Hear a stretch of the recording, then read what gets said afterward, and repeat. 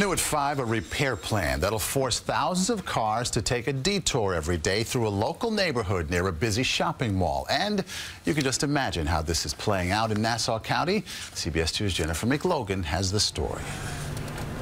Two decades of complaints later, the deteriorating Ellison Avenue Bridge is finally getting its long-awaited facelift. The MTA will now begin to replace the crumbling 75-year-old structure that carries cars above its LIRR tracks in Westbury. Repair of this bridge is something that's been necessitated for years.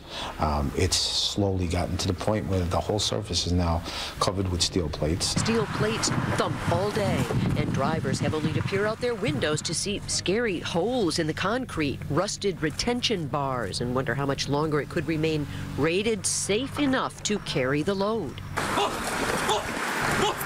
But progress comes with a price. Unhappy about the traffic very unhappy about it. Um, it, it, it it's definitely going to impact um, shoppers. The bridge on Ellison Avenue, just two blocks north of Old Country Road, near the Roosevelt Field Mall, is a major thoroughfare used by thousands of North Shore shoppers to travel to Nassau's hub.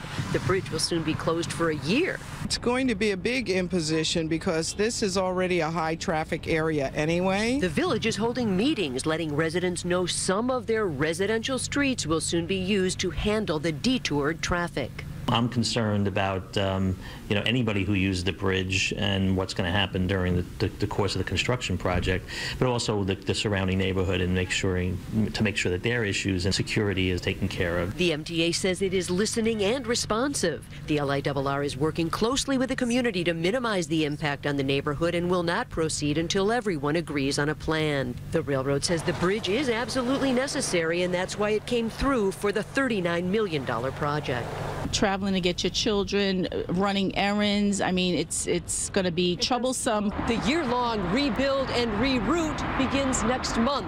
From Nassau's hub in Westbury, Jennifer McLogan, CBS 2 News. And Westbury Village officials say monitors will be watching the rerouted traffic for scofflaws who may try to speed through detoured streets.